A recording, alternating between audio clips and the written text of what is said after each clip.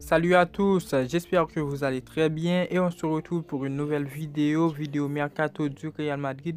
Dans cette vidéo, on va s'épancher sur les départs qui pourront eu lieu au sein du club merengue. Alors les frérots, on a beaucoup parlé des arrivées pour ce mercato de folie du Real Madrid. Aujourd'hui, on va entamer avec les départs. N'hésitez pas à vous abonner si ce n'est pas encore fait. Si vous venez de découvrir la chaîne par l'intermédiaire de cette vidéo, je vise là-bas des 5000 abonnés et surtout n'oubliez pas le pouce bleu pour me dire que vous appréciez le travail. On est parti. Le Real Madrid a eu une saison rythmée après avoir remporté la Super Coupe d'Espagne à la mi-saison. Le club madrilène a enchaîné avec la Liga et sa 14e Ligue des Champions samedi dernier. Une saison historique pour le Real Madrid.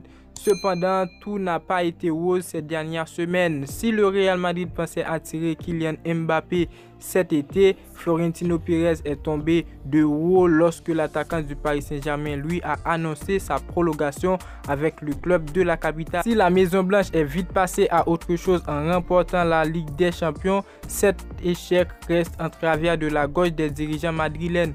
Il a donc fallu changer les plans du mercato. À présent, la priorité se nomme Aurélien Chouameni, le milieu de l'AS Monaco. Mais si le Real Madrid veut recruter cet été, il faudra passer un petit coup de balai dans l'effectif de Carlo Ancelotti et plusieurs joueurs sont concernés par cette vague de départ attendue. A commencer par Marco Asensio, a encore les informations de Marca, les discussions pour une prolongation n'avanceraient plus.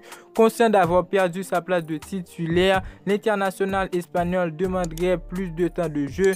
George Mendes, son nouvel agent, écouterait donc attentivement les offres qu'il reçoit. Pour Dani Ceballos, la situation est différente. L'ancien joueur d'Arsenal n'aurait reçu aucune proposition de prolongation. Pendant ce temps, le Betis Séville est très intéressé par son profil mais risque d'être gêné par ses finances puisqu'il faudra absolument vendre pour s'aligner sur ce dossier.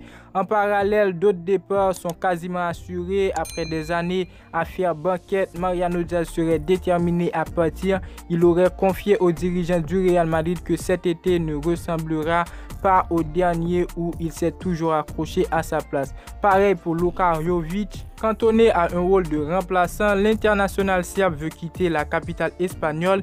Il aimerait jouer au Milan AC, le récent champion d'Italie. Encore faut-il que le club lombard soit désireux de se positionner sur ce dossier. Derrière, Jesus Valero aurait été invité à partir depuis l'officialisation de l'arrivée d'Antonio Rudiger, l'ancien joueur de Chelsea. Pour le gardien Lounine, le portier ukrainien L'idée du Real Madrid serait de le prolonger et de le laisser partir en prêt. Reste à savoir si ces joueurs seront les seuls à potentiellement quitter la Maison Blanche cet été. Alors les frérots, ce que je dis concernant toutes ces informations de départ, cette mercato de départ du côté de Real Madrid, je pense que c'est une très bonne idée. Avoir les départs, les joueurs qui ne vont pas jouer, il doit partir ce qu'on doit vendre pour apporter chez nous un peu d'argent pour qu'on puisse faire les recrues pour qu'on puisse recruter des joueurs de haut niveau qui pourront aider l'équipe.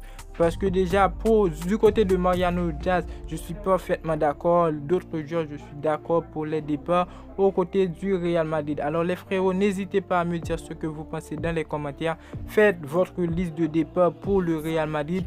Et n'hésitez pas à vous abonner si ce n'est pas encore fait. Je vise là-bas des 5000 abonnés. Et abonnez-vous, activez la cloche de notification pour ne pas manquer la suite des vidéos à venir. Et surtout, n'oubliez pas le pouce bleu pour me dire que vous appréciez le travail. Et moi, je vous dis à très bientôt pour une toute nouvelle vidéo. Ciao, ciao.